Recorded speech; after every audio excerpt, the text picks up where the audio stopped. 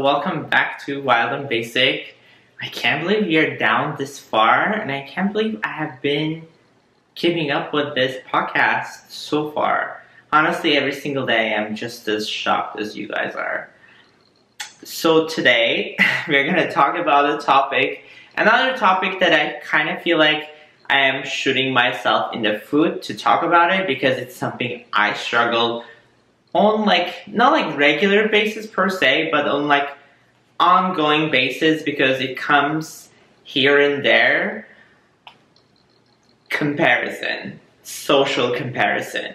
This is something I struggle a lot. Like I tend to compare myself to others or other people in my life or other people in my career. I think most of it is like definitely other people in my career uh, and that's something I am definitely work on. And but it's also something that I struggle with, and I feel like that will be important to talk about today, especially if you are struggling with it. And hopefully, this will be an episode to talk about. And this is gonna come off more like in an aspect that like if you're someone who struggled with uh, comparing yourself to others or like you are someone still struggling with comparing yourself to some other people in your life um, it's kind of like experience of talking about it, but also some ways that I'm, I guess, like coping with it. Uh, I feel like there's so many self-talks out there just to say that like, this is what you should do, this is how it goes, this is how it will work. But I just don't think that there's enough talk about what it feels like and how you are kind of like dealing with it. Because I think solution is one thing, but there are sometimes also just, you just want to like be like, I know that I'm doing this and I accept it, but I am still in the stage of like dealing with it, not in the place to like fix it yet. Because I feel like that stage sometimes comes later, but sometimes I feel like we just want to hear it, we just want to deal with it in the moment rather than just like letting that not to, um, I don't know, like letting that like stop us because sometimes I feel like you just cannot just fix that overnight or even just fix that at all because if it is part of our identity or if it is something that we grew up with, which is something I would say personally because I feel like comparing myself has always been a thing because ever ever since I grew up or ever since I've known myself, whenever I was with my parents or um, whenever I would get like a lower grade or even like somewhat of a higher grade, uh, my parents would always be like, oh, do you know, like Jack got this grade or um, Michael got better grade than you or like they did this but you didn't. It's like it constantly being reminded of like what others are capable of versus like what I was capable of. And obviously that was embedded in my brain and that's one of the reasons that like I feel like it was always there for me comparing myself. It just come it just became so natural almost like like second nature. But I feel like um, that's one reason I want to talk about it again. I have definitely talked about it before. Social comparison I think you can check it out before like in the other episode. Uh, but I think now I want to talk about it more in a perspective that like it's not necessarily something that I can fix right away but some of the ways that I am dealing with it so that it can help me uh, with my growth, but also I can focus on my own journey instead. So, long story short, that is what's going to be the topic today. But before that, let me tell you guys a little bit update on today's episode. Uh, well, today's episode, I mean, little update on my weekend. I feel like this is something that I talk about here and there, like little life update, weekend update, I'm gonna call it an update or life update. Yeah. So this past weekend was Cinco de Mayo, and honestly, like I feel like every single Cinco de Mayo, I've either gone out, like celebrated, but never in a way that like I was like blasted.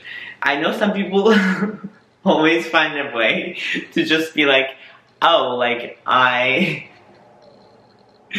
uh, it's Cinco de Mayo, like let me celebrate, let me do this. Obviously, it's something that like a lot of us like celebrate, or not even just a more to celebrate. It's more like find an excuse to just do something and to just like get drunk honestly that's kind of what it is so that's what i would see as but i think this my this weekend uh, was my first time obviously celebrating cinco de mayo in miami so it was interesting honestly like because uh, i would have expected to be i guess like a lot wilder it wasn't as crazy as i expected because i feel like sometimes even in new york they do like a parade or something does kind of get crazy. Not in a sense that like like partying aspect, but like city feels like there's so much going on.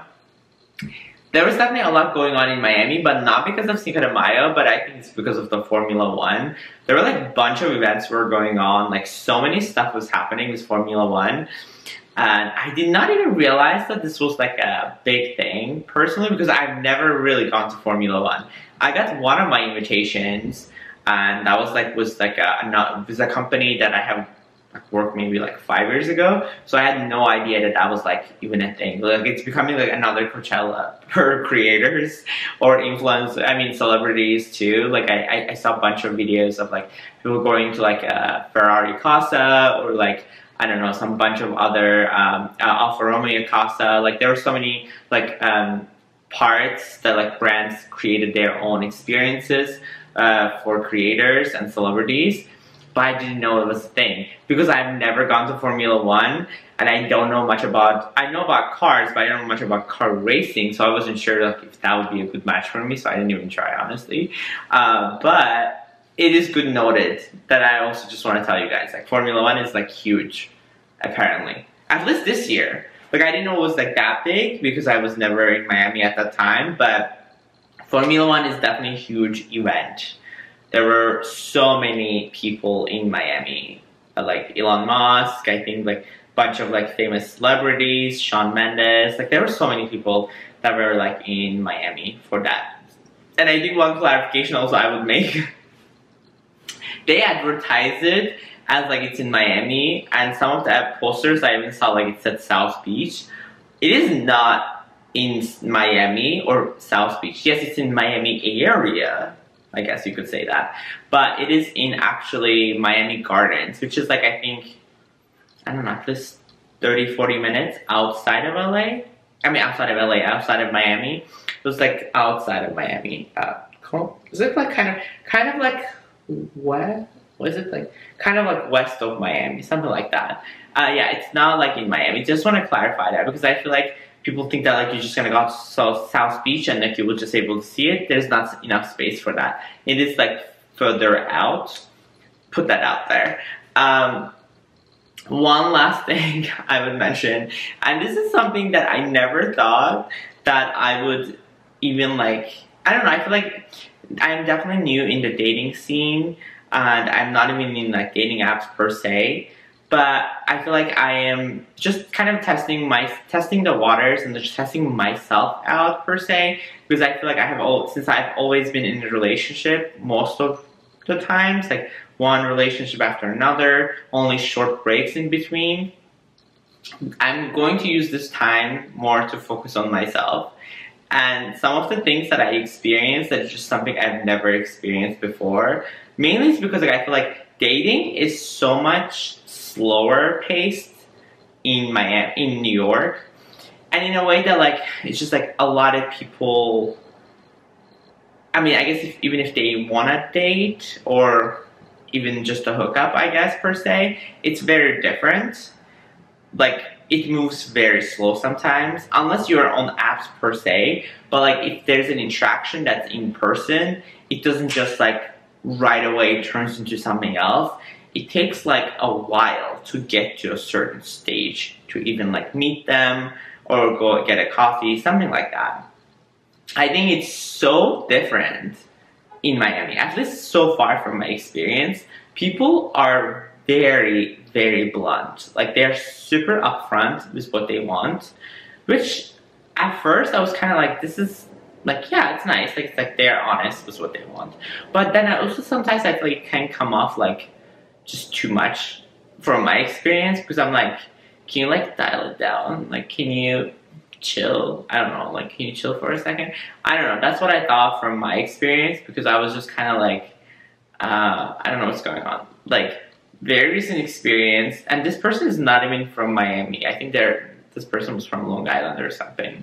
Uh, we were like practicing our volleyball, and uh, this guy joins us for play, like for volleyball game. Then afterwards, I guess like he was getting some people's Instagram, and my friend was there next to me, so he gave me his phone. Then like I put my Instagram. Then the time goes by, like literally I check it by the end of the day because I didn't notice it. It went to my request folder on Instagram and well section I guess. So then I check it. It shows like uh, he sent me like a picture, and at first I was like, I don't know what kind of picture this. Then it shows like it's like a location, like where it is at. Then it says like um, I think he's like trying to say like oh I'm here because I don't want to say the whole message because it's like it's not that kind of podcast. It's not, but I'm just gonna give you guys like the idea of that. He's like essentially telling me like come here, like hit me up or stuff like that. I'm just like, damn, like I, I didn't even have like a sentence with you. I didn't even like talk to you. The entire reason I even know your name is because like everyone, you had the, like someone asked your name in the team and that's how you know. Like I don't know you. But just like it's so interesting, very, very interesting how like direct people are and that just like I respect that, but I also like kind of like I don't know, like amazed by it because I just not used to that experience at all. Um, at least from my experience, like I just I don't know. I feel like usually I take like I expect people to go through multiple loopholes, loops, loopholes. I mean loops to like be like, hey, hi, how's it going? Like more conversation, and that will take maybe a couple weeks then afterwards it goes there. But people are here like, just want to talk to you or I want to just do this. That is a very new experience for me and just wanted to share that. Um, yeah, that is a little bit of update. now let's get on to today's episode. I think it's so different for everyone because depending on how you grew up and how your parents were or how your environment were, um, I think it is definitely bound, like at one point, that you're going to feel, like compare yourself to other people. It's just bound to happen, especially I feel like it starts probably in school that you know you're with your um, peers or like your classmates and like I guess maybe some of them do better than you and like you not necessarily like immediately start just like comparing yourself. I feel like it might just come up. It's not necessarily something that like it just uh, happens right away. I think from my experience, I know that I have uh, I have a somewhat of a competitive nature, somewhat not like completely per se. I think my biggest thing is that sometimes if I'm questioning myself, like just I guess what I am doing, and also on top of it, like what I am doing in my career sometimes, then I guess it's the comparison starts like going out of control a bit. I think that's what I have noticed sometimes because I think biggest thing for me uh, from my experience was that like if I'm comfortable with what I'm doing and how I have been doing, I don't tend to just look for uh, or look at what other people are doing. Even if I see it, it doesn't necessarily affect me per se. That is my experience. But I think what happens like there are times that when things are a bit slower or when there's not much happening or I don't know, or I feel like maybe things are not not as great as it used to be or just not as great overall. That's when I start to question myself, my like what I'm doing, but also that's when I also look at other people that like, oh, like if someone is doing better, or if someone is doing like this, it's like, why am I not doing better? And I have asked this question myself so many times because I feel like as much as there's so many like things I wrote down about like how to stop like comparing yourself to others, and I just don't want to make one of those basic ones be like, do this, do this, do that. Like, practice self care, like, practice gratitude, or like, practice like I don't know, like focusing on yourself, like um, practice like appreciation. There's so many ways that you can definitely work on that for sure. And I'm telling you, you guys can look this up very easily. And that's not what I want this podcast to be. I want to share it from my experience that like why that actually happens because I'm not saying that like this is not detrimental because it obviously is because I feel like any sort of comparison can be bad for your growth, like your personal growth, but it can also be bad for your mental health and self-esteem. And I think there are all some some of the things that are kind of like interconnected. One can not just like work without other because if your mental health is not in a good place, that obviously affects your self-esteem. And if you're struggling with your self-esteem, that's also gonna contribute to this behavior of like comparing yourself to others. Just kind of come with it. What I have realized though, I feel like from the very first thing that like definitely everyone has their own journey. Everyone has a different journey. Even if you are even if you're in the same career path as someone else, you still have a different journey. That is just like I feel like it has been so hard for me to accept so many times. I feel like usually I'm kind of like, okay, I'm like I understand that, I'm kind of like accepting that, but I have sometimes come to a place that I'm like, no, it's not that different. Like I have come to like that, you know, toxic uh, part of like behavior or toxic behavior that like, oh, like no, it's not that different. Like you're obviously doing something wrong. Like there's that voice in my head sometimes that comes up. But I feel like I have looked at it just as just something I would say from my experience that I think there are many times that I could think that like, oh, there's like a creator who has the same following as me or the creator that I've known for so long, but they have they got a viral video. Why didn't get a viral video? Or they did this, why I didn't get this. They got this partnership, but I got different partnership, or they maybe got paid more, but I didn't get paid more. Like all of these things can definitely affect you more, and I feel like it's just mainly is because because there's so much discrepancy in this industry for sure. But also I feel like there's discrepancy in every industry per, for sure as well because I feel like someone has a higher salary, other person have lower salary, but they might be doing the same exact job. That is how sad it is, honestly. But it is the truth. It really is the truth. But again, that's why I feel like it's so hard to sometimes not compare yourself. And I'm not making this episode to say that like it is okay to compare because I feel like it's just bound to happen for sure. But I feel like you just have to gotta stop yourself when it becomes super toxic. Because I feel like maybe you can use that as a motivation technique for yourself, but you cannot use that to beat yourself up. Because that is when it gets pretty toxic. Because I, I learned this, at least I'm learning in a way, that there are many times that I would have been able to maybe do that if I didn't have certain struggles. Because as much as you might look like someone might have accomplished things more than you, but they might have they have different circumstances. Everyone has different circumstances because I think there are many things that we might be struggling with or we might be going through with uh, behind the scenes, and that might be causing us a lot more damage than we might have expected. Because I think uh, I remember even from my experience that I would say to myself, there are many creators that they gone viral or they we have started almost the same time, but they have gone bigger places. But because they just focused on that, and that's why maybe that worked out different for them. But for me, it was so different. While I was building my career, I, I was doing like the, uh, I guess like being a content creater. I got my degree. I got, um, I was like freelancing at the time.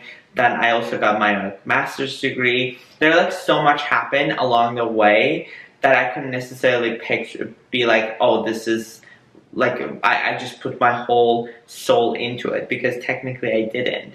I feel like that's why sometimes it's important to be super honest with yourself that like did you really put all that effort or did you all do that? Not to like make yourself feel bad about it, just so that like be realistic with your goals because I think they those people might have different goals and that's how I did it. They did it. But I know from myself like this is so true for me is that like usually my growth in everything in my life so far has always been steady, slow and steady. I have never gotten anything in my life. I wish I did, but I never did. uh, like quickly. I have never, maybe a couple videos of mine went viral, but I never went like that viral that it got crazy. I never had anything that gone super quickly for me. It has always been like slow, slow, slow growth, steady. It has always been like that. And I feel like I've come to the terms with that, that like that's just how it is for me. At least I am growing, I am working on it. And the same thing with my like business too. It's like it has always been like that. It starts small, it has never been like skyrocketed all of a sudden. I'm understanding that. But I think sometimes it's it can become uh, harder when uh, th there might be, I feel like everyone has their triggers. Like everyone does. Because I think as much as we say that we don't, but we do. Uh, there are times that, I don't know, maybe we are looking at someone's profile or when we are like seeing something in, in person or in real life that might trigger certain things about ourselves. And that's just like sometimes I feel like it's so easy, it comes almost naturally. But I know usually that comes, and this is like just like observation. I'm not trying to just say that like, oh my god, like you are doing this to yourself. But usually comes if we are feeling insecure about certain part parts of our lives, uh, like either I don't know, like relationship part or um, like ourselves personally, like how we are feeling about ourselves or physically or career wise. If there's something that we might see, we might start to compare ourselves for it. Like very perfect example would be my um, physical appearance. Um, I feel like I'm not exactly in a place that I'm like, oh my god, like I love my body for it. But I feel like I'm kind of in a place that I'm like, oh, okay, not okay with, mm, not comfortable with it, but I would be like, I'm okay with it. I would see people, but I'm not exactly be like, oh my god, like feeling bad about myself. I'm kind of seeing like, okay, they look like that, I that could be my goal. I use that as a motivation. But I don't see it in a way that like I feel bad for myself because I know that there are so many factors goes with it. Because especially something like this physical look is like you can understand like there's genetics involved, there's steroids, there's so many things that people take that make a difference for them. And versus like how it would look on me. So I'm just saying like everyone has a different formula.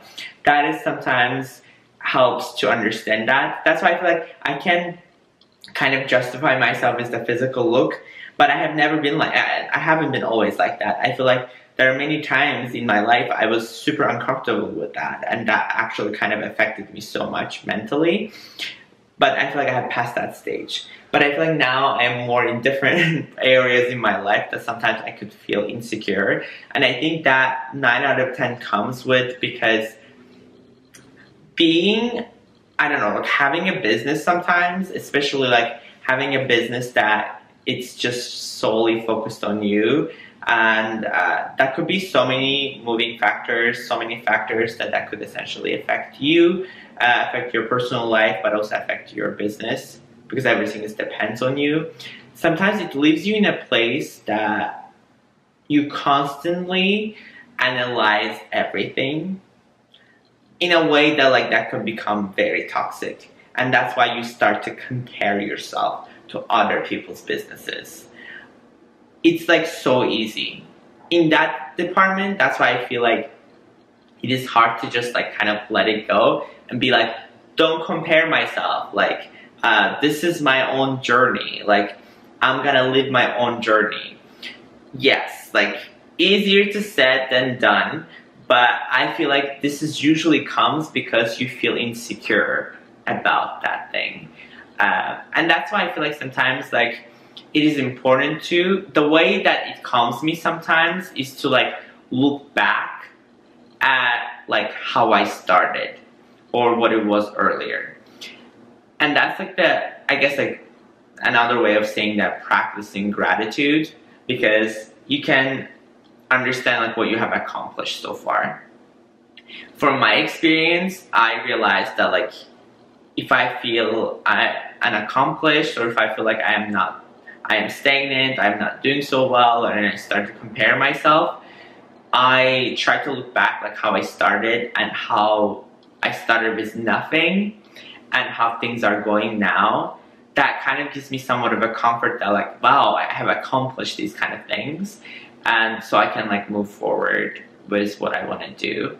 That kind of gives me a comfort but I think the main reason I wanted to make this episode is to show people that like it happens. Like it is okay to like accept that, you know, like yeah, you compare yourself to other people. I like sometimes we see it more in a way that like, oh like, oh my god, like I shouldn't compare myself to other people. Do this, do that, do that. But I feel like it's so normal. Like it's like part of being human.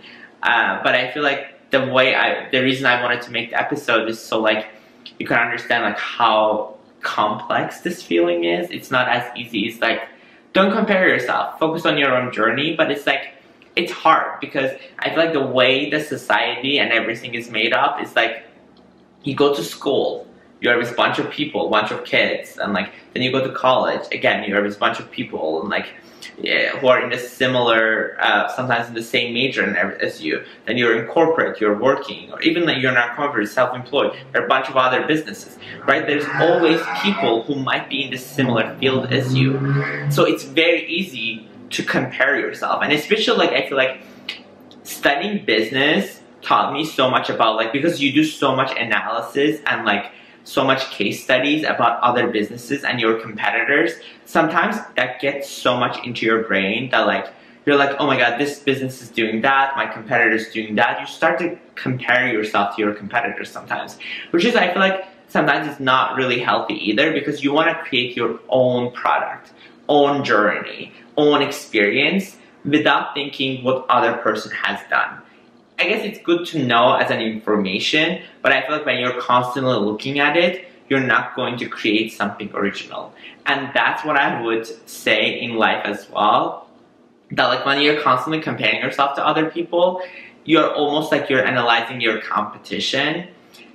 And that's not healthy because you're gonna try to look like them or be like them, which is not the case because you are your own person. And it's hard to find your own voice and find yourself. But i feel like if you start just like looking at yourself versus like looking at other people that kind of gives you the comfort to achieve whatever you want in life. On that note i'm gonna end the episode right here. Uh, i hope you guys liked this episode. If you do please don't forget to follow us on apple podcasts or wherever you get your podcasts. And i'll see you guys next week with another episode. Bye guys Okay.